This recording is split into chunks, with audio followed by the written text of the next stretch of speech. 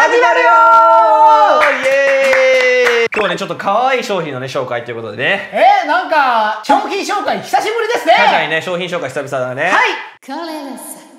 早速ね眠る竜の子。ちょ眠る竜の子。っとよくない？今までないんじゃないそうねこれすごい可愛いのが卵の中で竜が寝てるっていう。あー。まあ竜の子供が寝てるっていう表現なんだけど。眠る竜の子。そのまんまのね。そのまんまですね。ね結構ねもう2年半ぐらい経ってるかもしれないね。2年半。うん、結構前から進行してる、うん。でちょうどこの前うちで爬虫類やマサ工房さん。あはいはいマサ工房さんの食事してる時に、はい。実はこう眠る竜のこの作家ペンギンタイプさん。俺お会いしたことなかったんだよね。いつもメールで、うんあのツイッターの DM から商品化やりましょうってことで話させてもらってて。そそしたらたまたまこの前話したら実は学校同じだったんだって、えー。専門学校。造形の学校が一緒だったっていうあじゃあもう一問みたいなね。そうそれをこの前ちょっと初めて聞いて。あじゃあやっぱあの造形やってる方って近しいですかね。近いかもしれないね。えしかもなんか近藤さんも紹介しようとしたみたい。ええあれこれどうちゃこれ近藤さんから紹介してもらったのかな？もう忘れちゃったわ。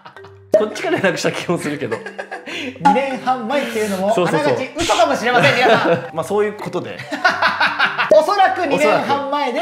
まあ商品もいっぱいやってるから結構潤いもいいかもしれないね。でね今日一個一個ね。まず一番メインのやつかな。朱色。これね。見えるかな？綺麗。あ綺麗に見えるね。いいね。で後ろの卵の感じとかも最初かなりしっかりしてるねこのもう印刷でピーターみたいですね。ね。うん。美味しそううずらの卵って感じかな、ねこれうずらの卵って感じねこれね、うん。で色もさすごい綺麗じゃない？綺麗。ね神秘的で、うん。であのボールチェーンついて、まあ、卵が中に寝てるような感じっていうのがちょうどうんうんうまく表現されてるから。竜の感じもすごい可愛くできてるからね。うん可愛い。うん。え竜って卵から生まれるんですか？一応ね。なんかそうなってない？竜っていないじゃんそっか竜っていないんか。何言ってんの？俺辰年だからさ俺辰年だから結構竜はねわかるよ。あそうそうそうそうそう。竜いるもんだと思ってましたすみません。すみませんちょっとドリーミーになって。ドリームだね。で続いてねえっと白磁。白磁？白磁。白いね。磁石の磁だから白磁。えー、かっこいい、うん、ちょっとわざと日本っぽくはい和風にしてる名前をね、えうん、竜ってことだからさ、ー、もう竜って中国じゃないですか。まあ、竜って和じゃない？あ和なんだ。何も知らない。一応竜って和じゃん。まあ中国もさあ中国こうやってやるじゃないですかああるねやってるね。あの和の国でも竜出るでしょ？あ出てくるね。でしょ？カイドウね。そうそうカイドウね。でこれねいいよ。一応ねは後ろ卵の色も変わって全部違うんだよねこれなんかベージュみたいなね。そう。結構白い感じも綺麗に出てるで竜も光沢効果入れてんの。ああ竜にね。そう。はいはいはいはい。だからすごく確高級感は出てるのかなっていう。かにううん。ん本当だ。これすごいっすねね。で続いて瑠璃色ルリリ色瑠璃色ね。かわいい。うん。ルリ色っていうね。こんな感じね。瑠璃色いいよなやっぱり。俺これ好きだな。です。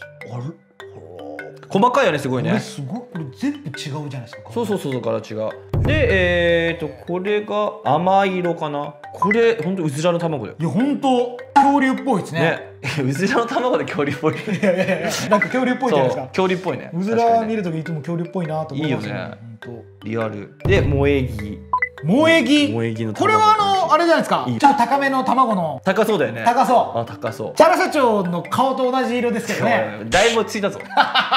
冬だったら。そうそうそう。で藤色ね藤色のね紫もいいね。藤色は白ベースって感じですね白ベースで藤の花のイメージだね。日本ですね。そう。で裏側にするほんと卵の感じもめちゃくちゃいいよね。卵パックに入れたらねね。はいそうですねいいね。うずらの卵のパックの中にさこれ1個これあったらいいよね。いい。ね。すごい可愛いこれ。なんかこう並んでてもいい。いいよねこれ卵。うん。すごい可愛いと思う。美味しそう。うん、結構うちこういうの作ってないけどね。一応、えーキノコドラゴンとか、まあ、そっちのドラゴン系は作ってるけど、うん。ちょっと和ベースの竜とかっていうのは作ったことなかった確からね。かに確かに、うん。あのいつもはなんかまあ今日どうしたの？なんか全然ちゃうかってどうしたの？じゃああの九州の友達と年末年始いたからめちゃめちゃ言葉が変になってます。そういうことね。そうもうずーっと黙ってんだ。黙ってんですよ多分。なるほどね。今日なんかおかしいなと思って。